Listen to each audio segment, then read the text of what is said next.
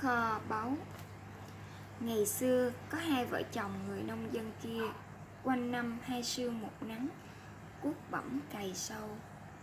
Hai ông bà thường ra đồng từ lúc gà gáy sáng và trở về nhà sau khi đã lặn mặt trời. Đến vụ lúa, họ cấy lúa, gặt hái xong, họ trồng khoai, trồng cà. Họ không để cho đất nghỉ mà cũng chẳng lúc nào ngơi tay nhờ làm lụng chuyên cần, họ đã gây dựng được một cơ ngơi đàng hoàng. Nhưng rồi, hai ông bà mỗi ngày một già yếu.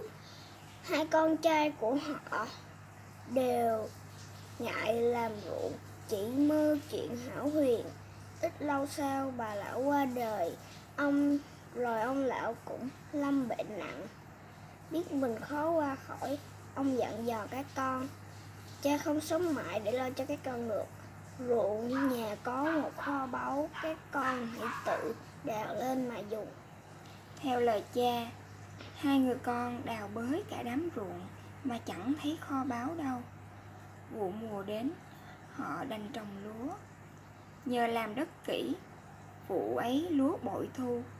Hết mùa, hai người con lại ra công đào bới mà vẫn không tìm được gì. Mùa tiếp theo họ lại đành trồng lúa và vụ lúa ấy cũng bội thu. Liên tiếp mấy vụ liền được mùa hai anh em có của ăn của để. Lúc ấy họ mới hiểu được lời dặn dò khi trước của người cha. Theo ngụ ngôn ê dốt Nguyệt tú dịch.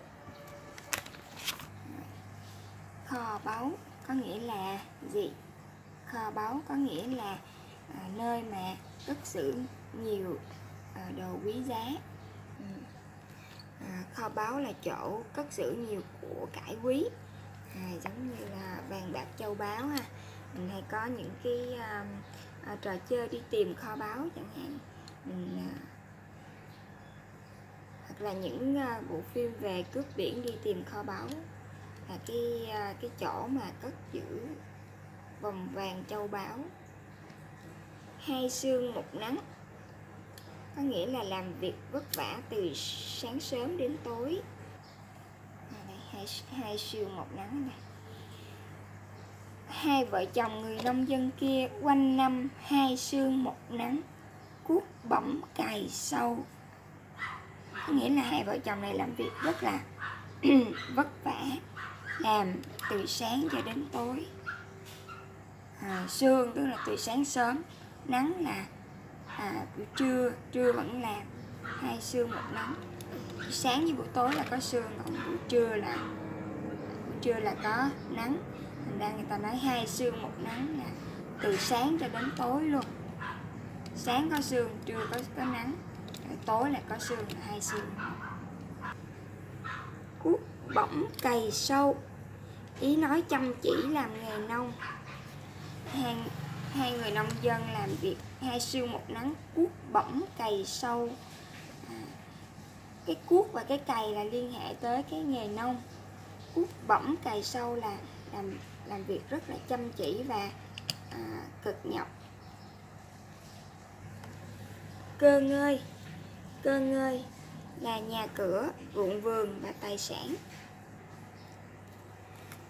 Nhờ làm lụng chuyên cần họ đã gây dựng được một cơ ngơi đàng hoàng. À, tức là nhờ vào sự à, à làm lụng siêng năng chuyên cần thì họ đã có được um, họ đã có được cơ ngơi đàng hoàng tức là họ có được cái à, tài sản là có nhà cửa ruộng vườn đất đai. À, đó là cái cơ ngơi đàng hoàng ý nói đầy đủ. À, nhờ làm việc siêng năng chuyên cần thì họ đã gây dựng được một cơ ngơi đàng hoàng tức là họ đã gây dựng được à, đầy đủ các, các tài sản các à, nhà cửa ruộng vườn đất đai. Họ có đầy đủ cơ ngơi đàng hoàng đầy đủ nhà cửa ruộng vườn đất đai những cái cái cái tài sản sống sung túc. Hảo huyền là không thể có. Ừ, Hảo Huyền Hai con trai của họ đều ngại làm ruộng Chỉ mơ chuyện Hảo Huyền. À, Hai ông bà này có hai người con trai nhưng mà không có muốn làm ruộng Chỉ mơ những cái chuyện mà không có thật Chuyện Hảo Huyền. Những chuyện mà không không có thật không có thực hiện được. Ừm, Huyền những chuyện không thể có, không thể thực hiện, không thể xảy ra được. Bội thu là thu được nhiều hơn bình thường. Hay chỗ bội thu thu được nhiều hơn bình thường. Mùa tiếp theo họ lại đành trồng lúa và vụ lúa ấy cũng bội thu. À, tức là họ trồng lúa và vụ lúa ấy thu được rất là nhiều. Bội thu của ăn của để là của cải đủ dùng và còn có để dành. Liên tiếp mấy vụ liền được mùa hay anh em có của ăn của để? Này của ăn của để tức là anh em có à, dư giả làm làm ăn à, thu hoạch được nhiều và có đủ ăn và còn dư ra nữa. À, sống à, dư giả có của ăn của để giàu có dư giả à, bây giờ mình sẽ trả lời câu hỏi nha Tìm những hình ảnh nói lên sự cần cù chịu khó của vợ chồng người nông dân. Ừ. Ngày xưa có hai vợ chồng người nông nhân kêu quanh năm hai sương một nắng cuốc bỏng cày sâu. Hai ông bà thường ra đồng từ lúc gà gáy sáng và trở về nhà khi mặt trở về nhà khi đã lặn mặt trời. Hết rồi nè. à, hình ảnh đó là ý nói là à, họ rất là siêng năng làm lụng không đó là cuốc bẩm cày sâu nè hai xương một nắng nè rồi đi làm từ sáng sớm trở về nhà khi mặt trời đã lặn à, rồi họ hết cấy lúa rồi gặt hái xong lại trồng khoai, trồng cà họ không để cho đất nghỉ ngơi mà cũng chẳng khi lúc nào ngơi tay, tức là làm làm mãi luôn. Rồi họ còn làm lụng suốt luôn, không để cho đất nghỉ ngơi nè, rồi làm chẳng khi nào ngơi tay, tức là làm luôn luôn tay luôn. Rồi nhờ làm lụng chuyên cần, họ gây dựng được một cơ ngơi đàng hoàng, tức là họ làm lụng chuyên cần nữa.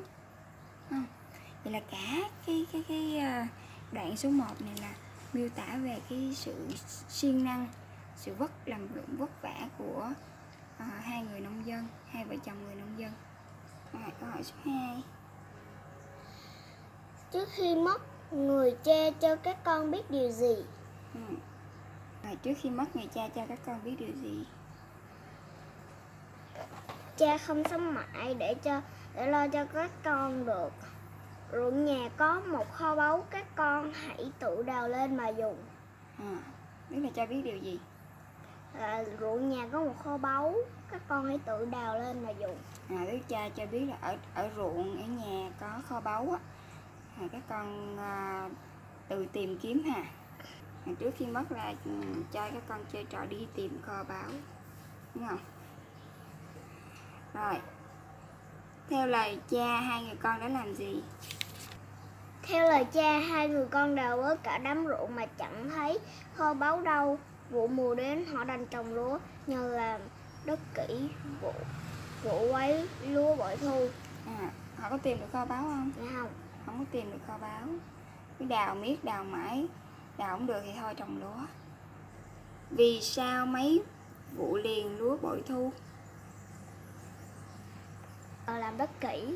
À, nhờ làm đất kỹ lúa mới bội thu đúng không?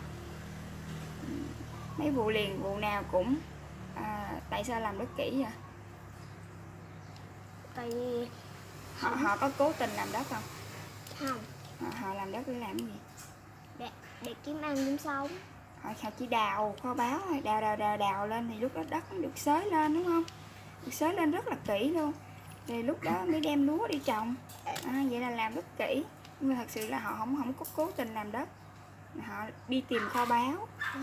Họ đi tìm kho báu mà không có thì thôi sẵn đất là được làm lên rồi trồng lúa luôn bội thu. À, câu chuyện muốn khuyên chúng ta điều gì? Là phải chăm chỉ làm việc.